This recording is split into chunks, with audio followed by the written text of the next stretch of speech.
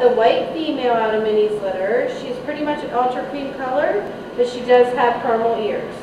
Um, she's super sweet. She's a little shy um, right now, but she's doing very well, aren't you? She just likes to be held, that's all. But she actually has a really nice curly coat. But she, um, let me show you her, coat here. Her coat is just really nice curly. She's happy.